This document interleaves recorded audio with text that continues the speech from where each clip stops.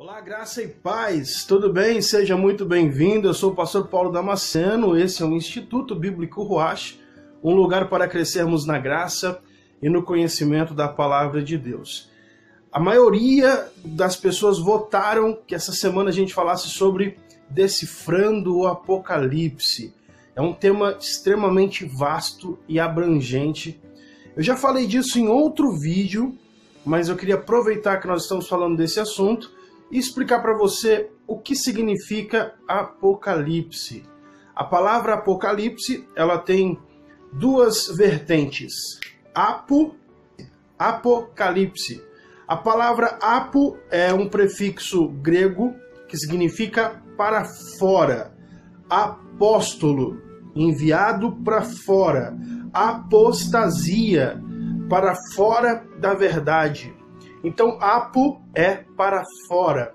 E calipto, ou seja, calipse, né, vem de calipto, significa sombra, eucalipto, ou seja, eu faço sombra. Então, calipto é sombra.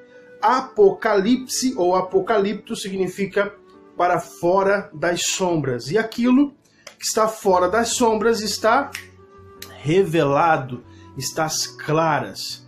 Por isso, Apocalipse, o original, né, o sentido original é para fora das sombras. Deus chamou João na ilha de Pátimos para revelar a ele, trazer para fora das sombras aquilo que já está estabelecido para o fim dos tempos. Os próximos dois vídeos eu vou falar aqui sobre os sete selos do Apocalipse, então não perca. Se você gostou, não deixe de curtir aqui embaixo. Se você está assistindo esse vídeo no Facebook, segue a nossa página, compartilha esse vídeo. Se você está assistindo no YouTube, não deixa de se inscrever no nosso canal, ativar o sininho para receber todos os nossos vídeos.